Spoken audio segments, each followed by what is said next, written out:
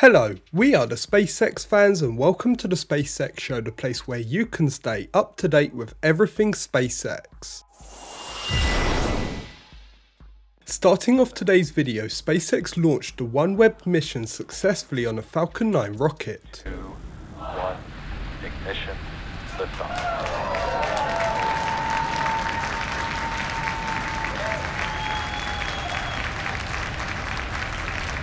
The booster which launched this mission, B-1069, then landed successfully for the fourth time on the landing pad at Landing Zone 1. You can see the first stage is coming down back towards Landing Zone 1, and we will start our landing burn of that first stage in just about 10 seconds here.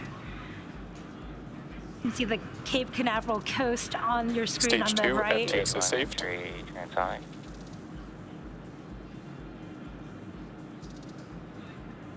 There is that start of our first stage landing burn. Stage one landing burn. Really incredible views from the first stage.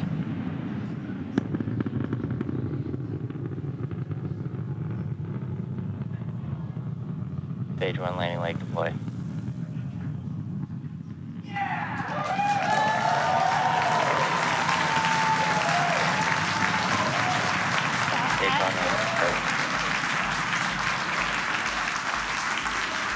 As you can that beautiful video from stage two is internal guidance. From the first stage, we did have a successful landing of the first stage first stage booster back on landing zone one, and this landing marks the 145th recovery of a Falcon 9 first stage.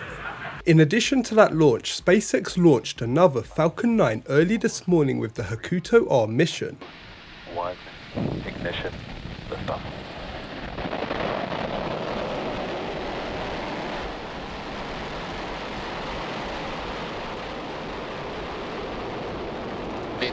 The booster which launched this mission, B-1073, then landed successfully for the fifth time on the landing pad at Landing Zone 2.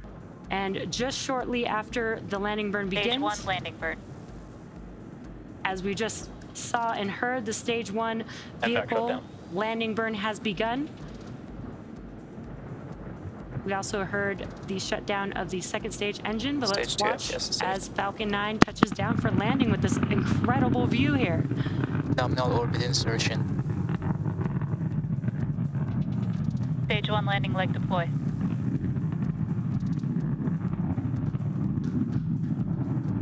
Stage 1 landing confirmed really awesome views there. As you can see, Falcon 9 has touched down on landing zone 2.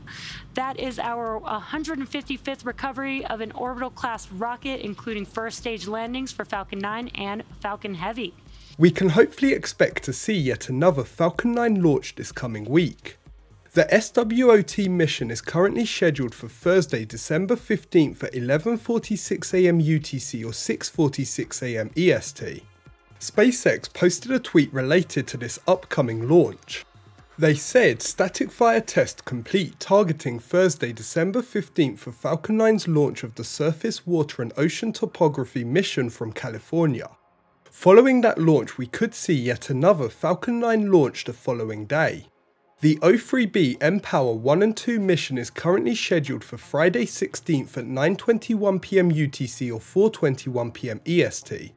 Related to OneWeb, there was a tweet posted with information about further launches. It says OneWeb has not only booked three dedicated Falcon 9 missions but has now added another flight to the multi-launch deal, a rideshare mission with Iridium satellites set to fly next year. SpaceX posted a couple of tweets about Starlink recently, the first says Starlink started providing high-speed, low-latency internet to passengers during flights on the first JSX jet this week. The next one says Starlink will be installed on additional JSX jets in the weeks ahead so as soon as you walk on your flight, the internet works. Michael Sheetz posted a tweet with more information related to Starlink Gen 2.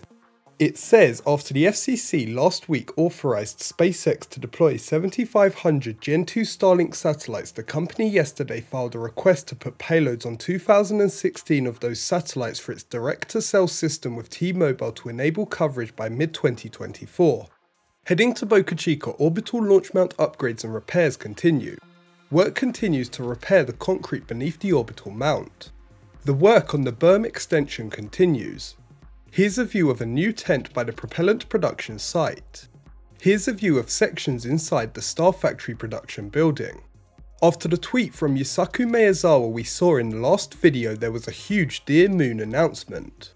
SpaceX posted a couple of tweets about the announcement.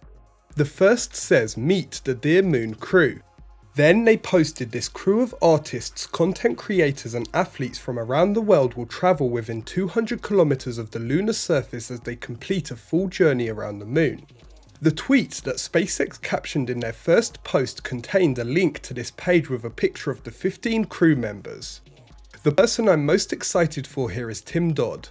Eric Berger posted a couple of tweets that are worth sharing. The first says, based on a couple of conversations, I think SpaceX has a reasonable chance of making Starship's orbital launch during the first quarter of 2023. No guarantees, and there is still a lot of work to do, but they are making progress. Then he also said, One thing I would note SpaceX has moved on from the cowboy phase of development in South Texas when there was a higher tolerance of risk and failure during Starship prototype testing. With the expensive launch tower, they are taking more time to increase chances of success. Test tanks and test articles are sitting at the rocket garden. There's a new test tank in the mid-bay. Work continues on Ship 24 with engineers working inside the methane tank. Taking a look at the road and beach closures, we could see something happen this coming week. There are possible closures currently scheduled for Thursday 15th and Friday 16th, as well as next week with Monday 19th. As always, I have to say thanks to Nic Ansuini for being out there filming the Boca Chica content. Also, thanks to the NASA spaceflight team working behind the scenes on their videos, live streams, and other space content. That's it for this episode of the SpaceX Show. I hope you enjoyed the video. If you did, make sure to hit the like button and leave a comment down below. If you want to stay updated with SpaceX info, make sure to subscribe and press the bell icon to get notified when I upload. Thanks for watching and have a great day.